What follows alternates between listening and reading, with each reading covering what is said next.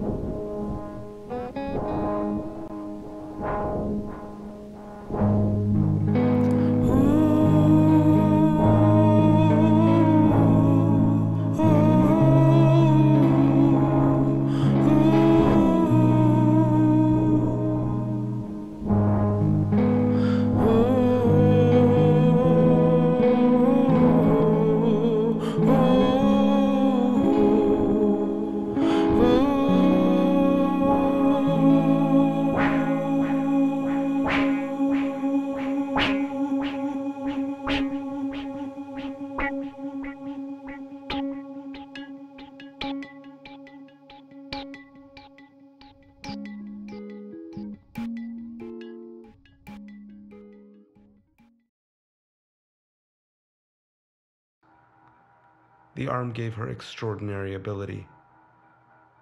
It allowed her to sculpt stone with her hand, to carve shapes out of the land's natural rock formations.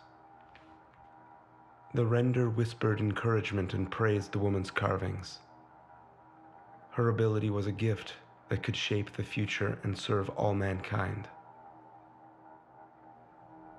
The render explained that the apocalypse had eradicated many visible things trees, cities. But the invisible losses were the most painful. Human trust was gone. The word trust had been abandoned, and no other word was spoken in its place.